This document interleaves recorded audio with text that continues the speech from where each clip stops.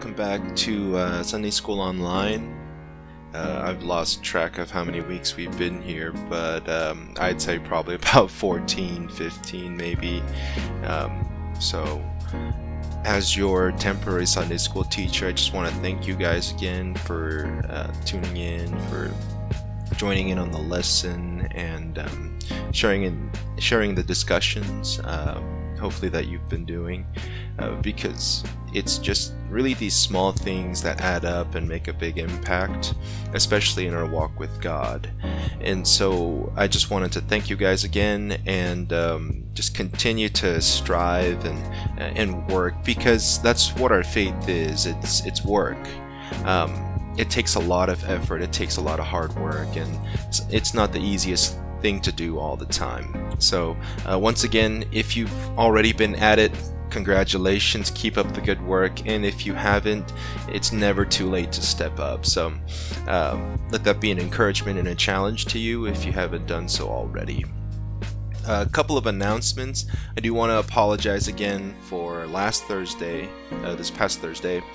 Uh, everything kind of fell through last minute, and I couldn't really get anything else organized. So, uh, Plan A failed, Plan B failed, and then Plan C also kind of fell through. So, I was, uh, I just wanted to apologize for that again, especially the short notice. Uh, this Thursday is our camp meeting. So if your parents can make it, great. If not, um, I'll have an instructional video set up so that they could join in and watch.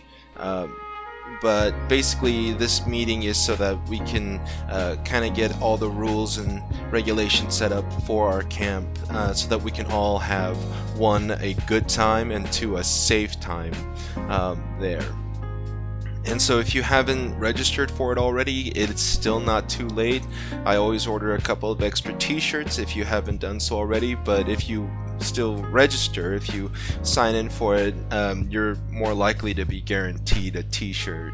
Uh, so make sure you do so already. Invite a friend. If money's an issue, please talk to me uh, because we have a church that's more than willing to uh, to just come in and help you and me out. Um, so uh, uh, once again, just camp. Guys, this is going to be an awesome opportunity. I really, really encourage you to invite a friend uh, because what better opportunity do we have to evangelize than an awesome, you know, retreat to a beautiful cabin? Um, this Sunday, I believe, is going to be our last Super Sunday. Uh, so make sure that you guys join in. If you haven't done so already, it's still not too late. Uh, because, listen, this is a great opportunity for us to just kind of grow and learn as, uh, as Christ followers. And the discussions have been awesome. Uh, we still have some snacks as well, so uh, make sure you come in and join in us for that if you want. that's Sunday at 6 and uh, we're, we're usually done about 7.15. Uh, Thursday camp meeting is also at 6. Uh, and if your parents can't make it, please, please, please make sure that you tell them to watch the video. I'll shoot out a text as well, uh, but that's that's one of the mandatory things. Okay. Uh, so without further ado, let's uh, let's get jumped into uh, Sunday School Online. Um, So we're going to be in the book of Colossians today, chapter 1. Uh, make sure you have a Bible with you, alright? I want to emphasize that again. Like, this is your bread and butter. This is your water. This is something that you need with you constantly, okay? Especially during Sunday school, especially during Bible study, right? Can, it's kind of hard to study the Bible if you don't have one with you. Um, Colossians chapter 1. Uh, so if you haven't gotten it already, make sure you pause the video, go grab it, come back. I'll be waiting. Uh, well, I'll be paused, but I'll be waiting for you, okay? So, uh, Colossians chapter 1, verse 1. Uh, let's read it together. It goes kind of uh, like this, okay? So, Paul, an apostle of Christ Jesus by the will of God, and Timothy, our brother, okay? So, little context for you guys. These epistles that we call them, right? Uh, the, the, books of the New Testament, um, a lot of these are written by Paul. Okay, so these are letters that he sends out uh, to various churches um, to encourage him, and sometimes to correct him. And in this case, uh, the church in Colossae was not one that Paul actually planted. So this isn't uh, Paul's home turf. This isn't some uh, a church that knows Paul intimately, that reveres him, that uh, you know that respects him as much as the churches that he planted. And one of the things that we notice here in verse one is that it's not just Paul; it's also Timothy that's writing. And so this is uh, this is a very unique uh, book of the Bible because not only are we getting the wisdom that God gave to Paul, but we're also getting the hints of wisdom that we get from uh, Timothy that God gave him. And so uh, let's look at this and um, if we look at the the context of it, the timeline here, Paul is actually imprisoned when he writes this. So they are they're actually assuming that this is probably around his first imprisonment in Rome. And so he's in jail writing this and Timothy's helping him out. So I don't know how they're doing that, but that's that's kind of what the um, the story is, okay? So, uh, our main uh, our main text is going to be in chapter 1, verses 3 through 8, and it's going to uh, go like this. Okay, so once again, follow along. Colossians chapter 1, verses 3 through 8.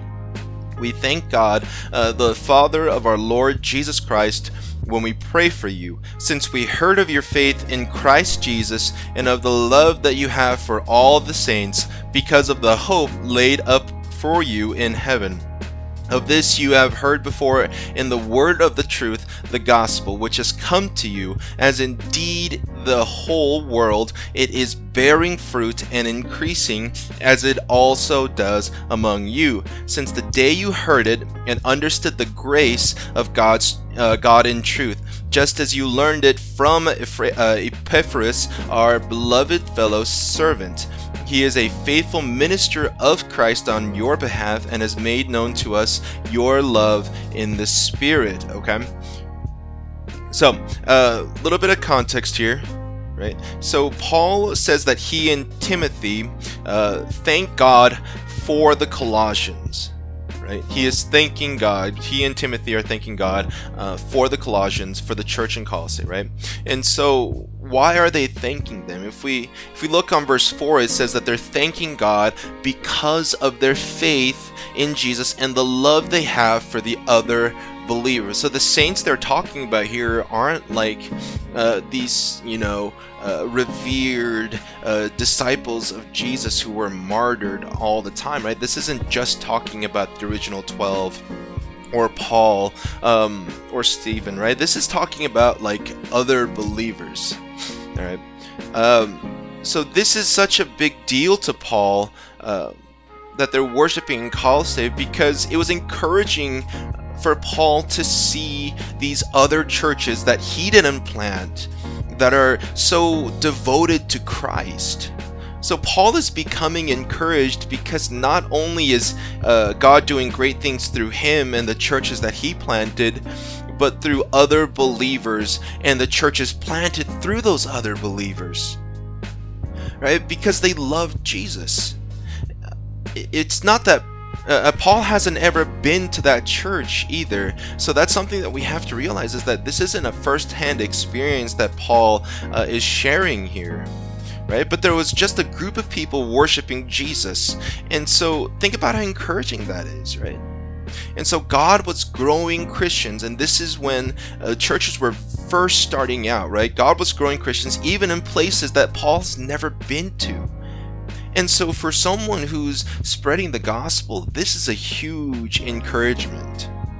Right. So, um, so how do you think? How did the people uh, in the Colossae find out about Jesus? And so, you might get some answers from the Bible, uh, and possibly others. But if we look on verse seven, right? Um, it, says that he learned it, that they learned it from Epaphras, right? So Epaph- uh, Epaphras was a uh, Colossian. He was like an a native person of that city, okay, who returned to his hometown, and he also helped the church begin there.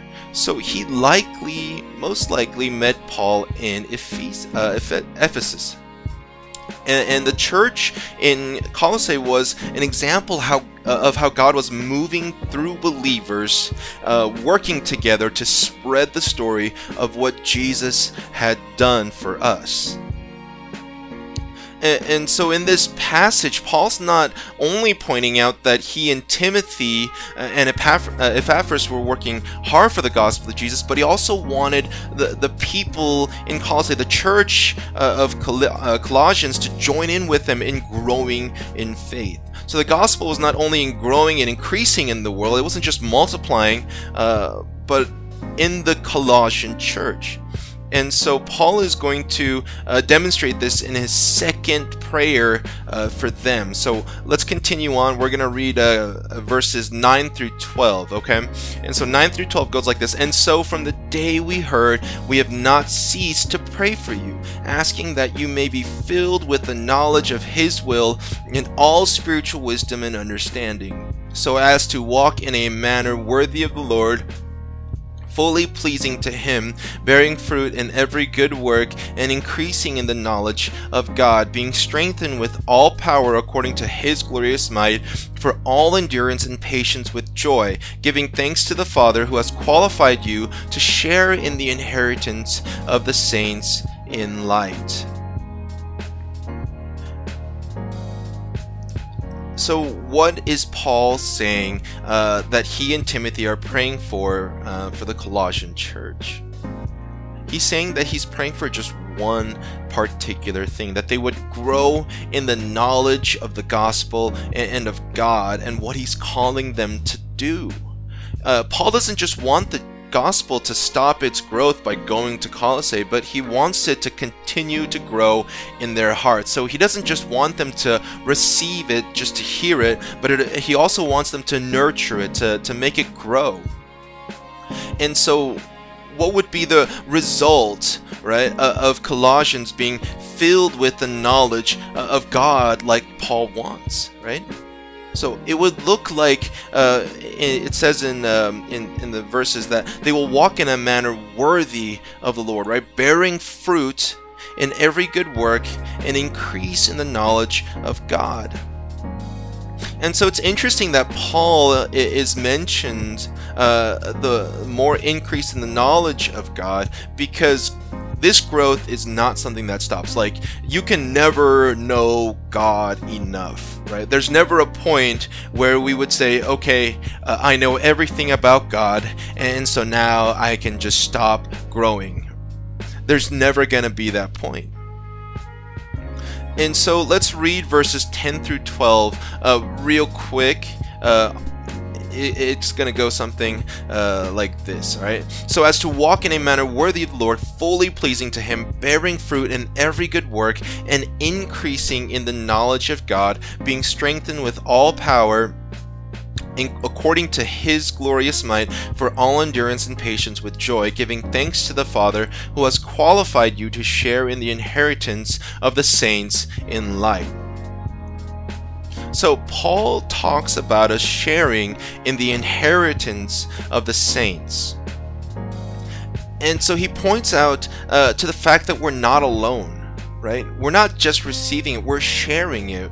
We're not just getting this by ourselves, we're getting this together. So we're not expected to learn about God uh, by ourselves right? He's not just saying, all right, here's the Bible, go learn about God, and I'll see you in heaven, right? He's saying that it's a collective responsibility. And so, just as it is my job and my duty to help you grow in the knowledge of God, it is your job to not only help me, but help the people around you, the, the fellow believers in your life, to also grow uh, in the knowledge of God. We're living the Christian life together together, it's a community. And so the idea of togetherness, the idea of being together uh, in faith is so important, right? There's going to be times in our lives where we feel alone, right? And I'm pretty sure there's already been a time in your life when that's been the case and so it might be the uh, it might feel like you're the only one amongst your friends who's truly knowing Jesus. It might feel like you're the only one that's pursuing God. And so that's why it's so important to us that God has given us a community of believers. It's so that we can pursue Him together. So even if we don't feel like there's anyone immediately around us uh, that's truly pursuing God like the way we are, right? Someone to walk arm in arm with, hand in hand with, we're part of a global historical movement of Christians. It's so much bigger than just you and just me. So, Colossians, Paul was talking to people who lived in a different city, uh, but who had placed their faith in the same Jesus that he had. He was witnessing the spread of the truth of Jesus. So we're gonna we're gonna uh, finish out uh, by looking at how that started in the book of Acts real quick. Okay, so if we look back in the book of Acts. Um, after Jesus ascended into heaven, uh, Peter goes to the temple and starts preaching. Uh, but he didn't exactly tell them what would happen next. He didn't give them a, a, a day by day synopsis of what was going to happen in their faith. And so the apostles, uh, instead, if we look on chapter 2, they, it says that, that they devoted themselves to the apostles' teaching, uh, they fellowship, they ate together, and they prayed. They shared their possessions and worshiped together. And so all these things they did together. They weren't eat they weren't breaking bread by themselves. They weren't fellowshipping by themselves. They weren't worshiping by themselves. They weren't helping people by themselves. And so from the very start, Jesus commands us to establish or be a part of a community of fellow believers because there's so much more we could do as a collective than as an individual. And so the thing I want you to take away from all of this uh, is that what we have here at First West in America as Christians is so valuable.